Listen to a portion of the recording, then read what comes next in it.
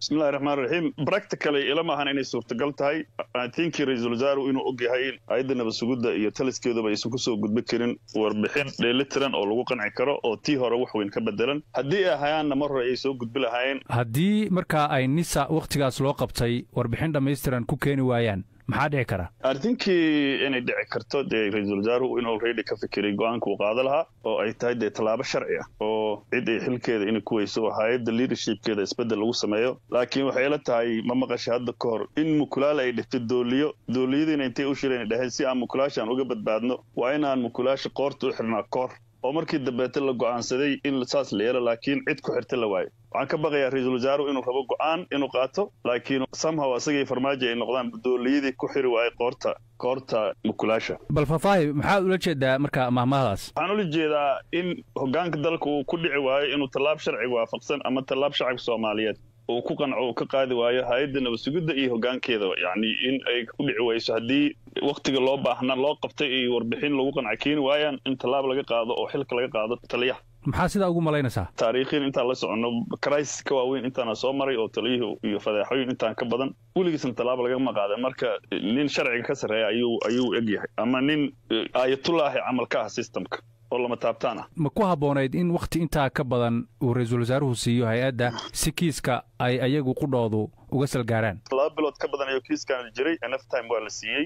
Marka ay conclusion caynkaan ayagana maba ahayn inay gaaraanba. Guddigii baarista ee maxkamadda ciidamada iyo xilaalinta loo xil saara ayay ahayd go'aankan gaaraan. Sida dareensanahayna collaboration ayay ka waayeen oo wada shaqayn ayaa laga waayay hay'adda nabadsugidda qaranka. Statementigan hadda la soo daayana sidan aan la socdo wiiggii ugu horreeyey ayay rabeen saas inay u sameeyaan ee waxaa ka diiday guddiga baaritaanka iyo maxkamadda. Marka waxaa la yidhi beenlow runtiis kama soo tagto. Hadday run haayaan mar hore ay soo bandhigi lahaayeen wakhti ku filanna waa la siiyey wax caddaynahoo lagu qanci karo oo hadda maangalan inay keeni karaan ilamaha maxaa marka laga filan karaa hay'adda nisa? Ma laga yaabaa warkii hore war ka duwan inay keenaan? Hadda wax kasta ayagay u taalla anugu hadda ma oga qulubtoodana kuma jiro.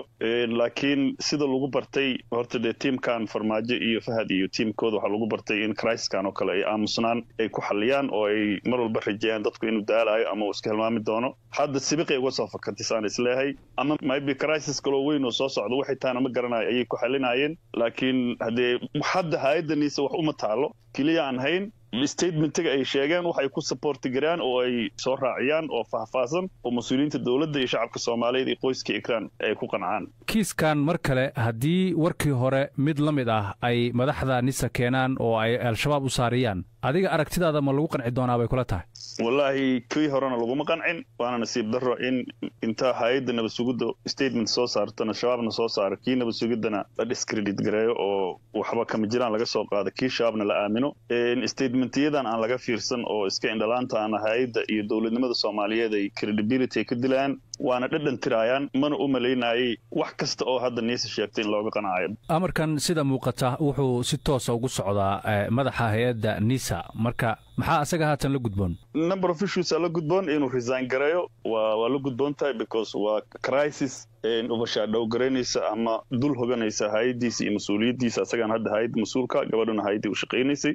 Meesha shulka ka dhacana hay'adda gudaheeda waaye muddana hay'addu ayadaa isku xil saartay in waxaan soo baarto wax lagu qanci karana ma keenin. Si loo baaro oo baaritaan saxa loogu sameeyo waxa la yidhahda step aside inuu hay'adda ka tago inta baaritaanku socdo ama officially ba ii sheegeen laga qaado xilka. Xilka qaadistana hadda kuma filna oo maybe other consequences ama cawaaqib kale waa inuu ka dhasho. Ugu dambayntii ra'iisul wasaaraha maxaa asaga qudhiisa la gudboon haddii warkii hore wax dhaafsiisan ay keeni waayaan madaxda nisa wallaahi aniga waxay la tahay haddiiba ra'iisul wasaaruhu statementigan oo mas'uuliyadda ku jirta uu jeediyey oo shacabka ku dejinaayo go'aan lagu qanci karo oo waafiya tallaabooyin muhiim ah waa inuu hay'adda ka qaada iyo leadershipkeeda haddii uu ka qaadi waayana hadda markabkii hadda asaga u wada dowladnimada ayuu dejinayaa